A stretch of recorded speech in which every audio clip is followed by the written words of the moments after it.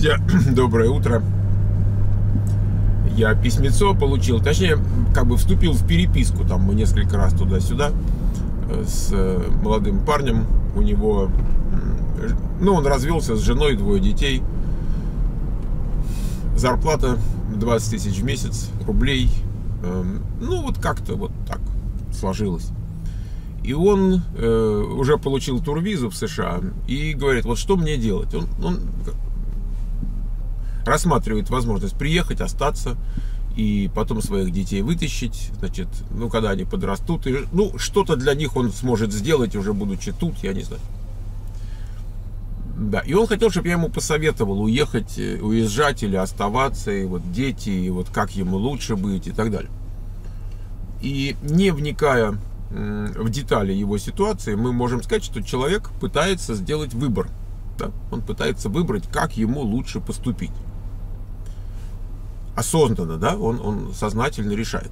Мы сейчас вернемся к теме, которую обсуждали и будем еще обсуждать. Это когда человек э, ну, как-то он живет, а вот вы на него смотрите и хотите ему помочь. А вот он не слышит, он не слушает, ему не интересно. И есть такая стадия э, во всякой проблеме. Значит, первая стадия это когда человек говорит, да нет проблемы. Ну, ну вот нет. Алкоголик говорит, я в любой момент могу бросить. Курильщик говорит, да я так за компанию, если что, я в любую секунду. Это, это не, не то, что я там, знаете. А, человек, который а, там, допустим, э, лишние 50 килограмм веса у него, он говорит, да я, в общем, что, я, если вот надо, я, я могу прекратить, я, пожалуйста, я могу не лезть в холодильник каждые 15 минут. Реально, а что, я, ну, просто я так вот. А, а то, а, э, он может сказать, а что, я сейчас вот начну худеть, у меня кожа. Э, женщины особенно, да, они чувствительны к внешнему виду, скажут, что, что же будет с моей кожей, куда, мне не надо этого ничего. И вообще мне хорошо. Зачем? Человеку хорошо. Чувствую себя хорошо. Энергии много. А, добрая я. А то сейчас похудею, стану злая. Короче, отрицает человек проблем. И вот мы на самом деле говорили несколько дней назад на эту тему. Вот когда мы в чужую жизнь как бы лезем, и парень спрашивает, как помочь человеку, он меня не слушает. А человек-то хороший, как же ему помочь? Знаете, как ему помочь понять, что нужно эмигрировать? Как ему помочь понять, что нужно бросить курить? Как ему э, помочь понять, что нужно что-то делать в своей жизни, а не вот просто так сидеть там, э, медитировать? Значит, я тогда говорил, что, ребята, а имеем ли мы право вообще лезть в чужую жизнь? Кто мы такие, чтобы сказать, что человек должен что-то менять? Ну, конечно, если он алкоголик, и здоровье рушится. Есть какие-то вещи общепризнанные, ну, ну, которые плохо, когда они имеют место быть. Э, и мы говорили о том, что в зависимости от той стадии, в которой человек находится в процессе изменений, э, есть какие-то решения, которые помогают его сдвинуть в сторону правильную, как бы, но если это решение от другой стадии, а он находится в этой стадии, а решение из другой стадии, то оно ему не поможет. Например, если человек сидит, ничего в жизни не делает, вот он болтается, он не знает ему делать, не делать, он где-то вот там повис. И говорит, а мне хорошо. И вы ему говорите, а вот там, слушай, да, вот там партнер компьютер скул, там на тестеров учат, работать будешь, деньги получать. Он не в той стадии, он не выбирает сейчас. Понимаете, для того, чтобы ему с пользой получить эту информацию, он должен был бы сказать, есть проблема, он должен был бы сказать, надо что-то делать, давайте искать информацию, давай, и тогда ему, да, может быть, это было бы к месту. Но когда он говорит, а у меня проблем нет, жена вот работает, а я нормально, а все виноваты. Это же меня не обеспечили, вот а что я могу один? Вот я сижу тут. Знаете, ему, у него все хорошо, в общем-то. И значит, сегодня у нас тема, это как понять, а, у человека действительно есть проблема или у него действительно нет проблемы. Вот вы со стороны смотрите, и вы думаете, вмешиваться или не вмешиваться. Если у человека все нормально, не лезьте к нему. Вот. И если уже даже и лезете, то как бы с пониманием того, на каком этапе человек находится, и, и с чем имеет смысл подходить, и с чем не имеет. Но вот э, я вам рассказывал, я сейчас читаю книжку о переменах, да, как люди, какие этапы люди проходят в, в переменах, как в изменении себя. И изменение себя это не исключительно избавление от какой-то зависимости, да, там, я не знаю, алкогольной, никотиновой, пищевой. А, удивительную вещь прочитал сегодня, э, вчера, там, что оказывается, не, не, не там, в другом месте, а, что состояние жертвы, позиция жертвы, а, это такая же зависимость, как вот э, там алкогольная, никотиновая там и так далее. Значит, то есть она такая, она затягивает, очень выгодно, очень удобно быть жертвой, когда тебе все должны, когда все тебе не додали. И вот ты жертва, и ты, естественно, сам ничего делать не будешь. Но вот, и вот это тоже такая зависимость интересная. Эм, жир, да? Значит, что такое жир? Вот казалось бы, ты ешь, ешь, ешь, и у тебя появляется жир. А потом этот жир превращается в как бы такой эндокринный орган. Жир теперь а, заставляет тебя есть. Понимаете? Это не вы вызываете жир тем, что вы едите. А жир теперь говорит, а ну-ка давай ешь. И он заставляет вас теперь есть. Понимаете? И вы попадаете в зависимость от собственного жира.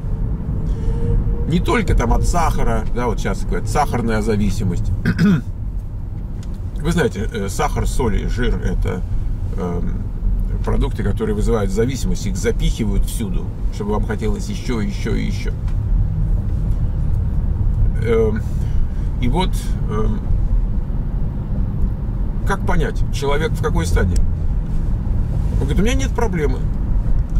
Э, и вот в этой книжке, там, поскольку рассказывается там о разных аспектах, вдруг я наткнулся на то, что психологи пишут на эту тему, и я подумал, надо поделиться с вами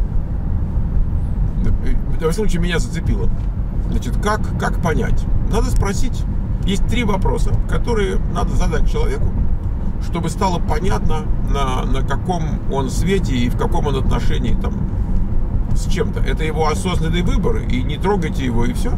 Или действительно у него проблемы, но он пока в состоянии вот э, говорит, нет проблемы, нет проблемы, нет проблемы. Знаете как? Вот вышел во двор, там сорняки, говорит, нет сорняков, нет сорняков, такие пасы, знаете, мантра, нет сорняков, уходите, сор... нет сорняков, да, не уходите, уходите сорняки, это уже, он знает, что они есть, говорит, нету сорняков. Вот мантру сказал, не, их не, нет и не было. Так вот, вопрос первый, который вы должны задать себе, ну, больше себе, чем ему в данном случае, вы говорите себе, готов ли этот человек обсуждать вот эту тему. Потому что, если это у него сознательное решение, вот он говорит, я решил, что я вот буду так, вот я буду курить. Я, я не вижу там ничего такого. Вот я курю. Да, да, я курю. У меня родители курили, там 90 лет жили. Я, там, я, я курю, это я это так решил. Да, я знаю, там есть какие-то там, последствия, там что-то, но это мое решение. Готов ли человек обсуждать тему? Если он обсуждать тему готов, то он в порядке. То есть он, как бы сказать, он не пытается закрыть глаза на что-то и чтобы от него отошли. Он, он может поговорить. Если он обсуждать не готов, он не хочет, он раздражается, он уходит в оборону, он начинает говорить, на себя посмотри, а ты вот туда, что-то ко мне, все ко мне пристали и так далее. То есть Одно дело, он принимает что-то и просто так живет. Другое дело, он не хочет знать, что оно там где-то есть. И не хочет разговаривать на эту тему. То есть, если не хочет разговаривать, это признак ухода в оборону, это уход в оборону, это признак того, что, скорее всего, проблема есть. Он просто находится в стадии пока ее отрицания, но она есть. Это первая стадия, проблема отрицается. Вторая стадия, проблема признается. А, да, проблемы есть, и человек начинает как бы информацию собирать, у него еще нет решения, но он, он понимает, что надо что-то делать. А третья стадия, когда он планирует какое-то действие. Четвертая, когда он выполняет это действие. Пятая, когда он удерживает результат этого действия. И шестая, когда он покидает так сказать, эту проблему, навсегда с ней расстается. Может никогда не наступить. Каждая из стадий может растянуться на продолжительное время. Есть рецидивы там внутри и так далее. Но стадия отрицания – это уже первая стадия того, что проблемы есть. Что если проблемы нет, то и первой стадии нет. Так. Эм, следующий вопрос, который мы можем человеку задать или как-то так косвенно в разговоре понять. Ты вообще в курсе, что проблема такая есть? Ты вообще в курсе, что, например, эм, от, ну, с никотином вероятность там, раковых заболеваний возрастает там сколько-то раз? А ты в курсе, что, допустим, сколько-то людей там умерло от алкоголизма? Ты в курсе, э, что там, я не знаю, люди, которые там колют героин или там нюхают чего, что у них вот там такая-то вот, э, я не знаю, смертность, у них вот такая-то преступность, у них э, там семьи разваливаются и так далее, и так далее. Ты это знаешь или ты это не знаешь? Вот э, ты видишь там что-то, я не знаю, по телевизору передача о вреде курения. Вот ты куришь. По телевизору передача о вреде курения.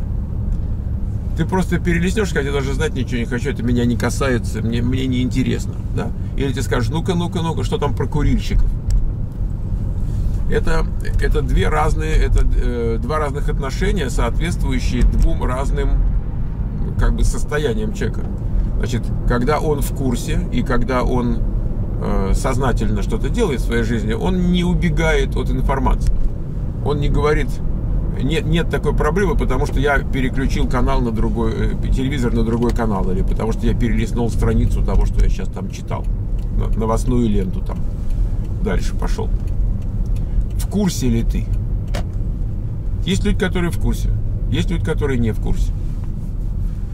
Эм, они не в курсе.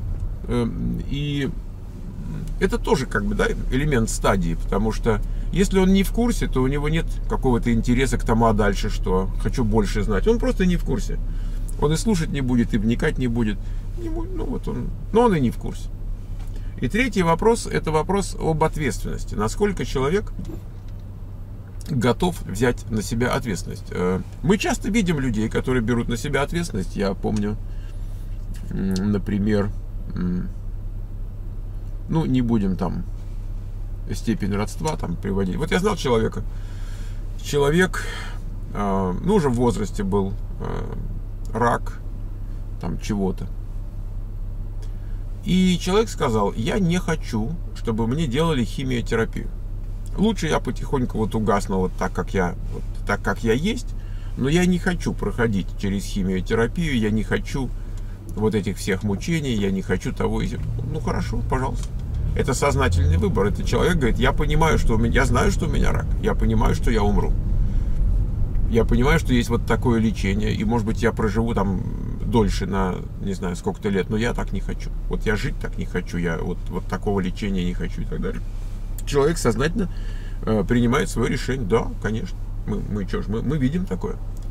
Но тут дальше появляется история такая, готов ли человек взять на себя ответственность за то, что произойдет в результате того, что у него есть вот эта проблема. Готов ли курильщик к тому, что у него будет, вот, там, скажем, а, например, скажем, курильщик, а у него еще сахарный диабет, то там второго типа, да, а он еще и курит, и ему врач говорит, ты знаешь, говорит, к чему мы идем, говорит врач. Мы идем к тому, что вот я тебе могу показать, рассказать, там, дать поговорить. Есть люди, которые вот так вот курили, им говорили, брось курить, там, да, сюда. А кончилось тем, что ему, значит, ампутировали сначала там стопу, потом выше, потом выше, еще выше, потому что там такие проблемы. Ты готов к этому? Ну, ты, ты как бы отвечаешь вот за это, за все. Или, или ты как бы говоришь, я ничего знать не хочу, оно куда-то там ушло. Это не моя ответственность. Я читал случай. Муж с женой курили оба. Американцы. Вот в этой книжке. Да, значит, они оба курили. И у них была любимая собачка. Собачка умерла от рака легких. И им говорит, э, ну, там, кто там им говорил, а, Значит, что, ребята, это происходит... Они дома курили, у них весь дом там был прокурен. Говорит, у вас собака умерла от рака легких. Они заводят новую собачку. Новая собачка через там несколько лет тоже умирает от рака легких. Но они, как бы сказать, не... Они, они не говорят, ну да, мы возьмем собачку, она умрет от рака легких, но вот мы так курим. Они говорят, ну это случайно, это ни, никак не связано, ну мало ли что бывает. Но вот мы же не умерли от рака легких. Они не берут на себя ответственность за это, за все. А, то же самое, там, не знаю, там пьяное зачатие, вы знаете, да, что, что бывает. когда зачатие пьяное. Но э, человек не берет на себя вот, вот, вот такую ответственность. Он не говорит, я сейчас вот это сделаю, будучи там, поддатым. Я понимаю, что ребенок будет дефективным, это нормально, я беру на себя ответственность. Там. Нет, он, он, он не берет, он, он вне, он в прострации, он где-то там. Поэтому то же самое, то же самое с иммиграцией. Мы не говорим об э, освобождении от зависимости какой-то, но мы говорим об, об ответственности за принятие решения. Ты решение какое-то принял в жизни, и ты несешь за него ответственность, или что-то такое, ты плывешь по течению, и поэтому никто тебе помогать не хочет, и, не, и с тобой ехать не хочет в ту, там, в ту же иммиграцию, потому что ты не отвечаешь ни за что. Ты не берешь на себя ответственность за последствия. Ты говоришь, я хочу вот так и так, а если это, а если то, а если все. Ну, что я буду думать сейчас? Ну, конечно, ты можешь не думать, но, но отвечать кто будет? Кто в ответе? Ну, значит, никто не будет. Сложнее, сложнее искать партнеров и спутников э, в жизни, если ты, ты не отвечаешь. Так оно как бы меняется качество партнеров.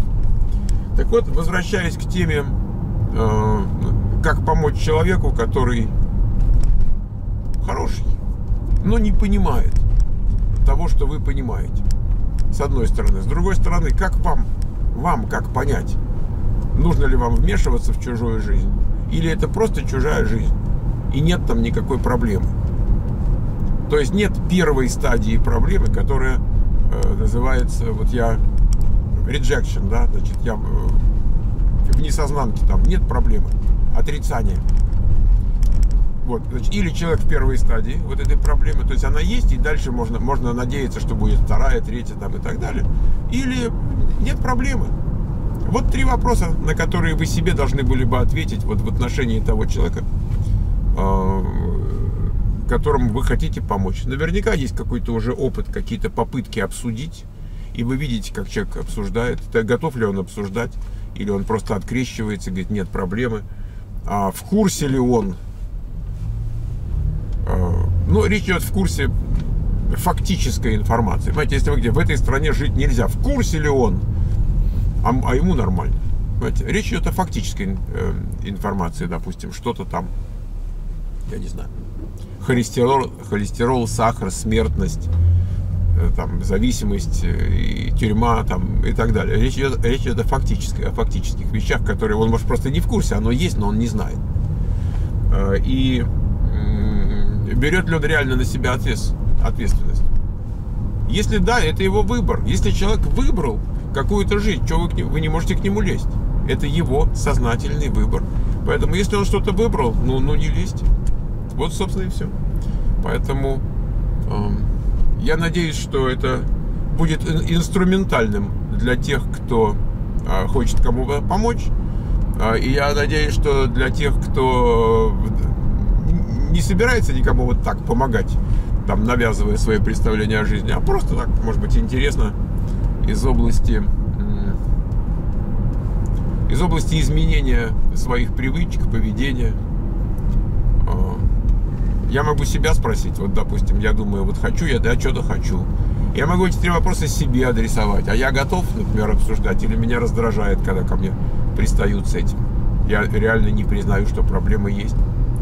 Хотя бывают какие-то стадии, когда ситуация просто меняется. Вот, допустим, жил человек, и вдруг там, я не знаю, другой, вот они вместе там выпивали. Вдруг один раз, и там цирроз печени, умер человек. И он, и он вдруг начинает осознавать, что проблема есть, при том, что он ее отрицал. То есть какие-то внешние события могут быть, конечно. У меня, например,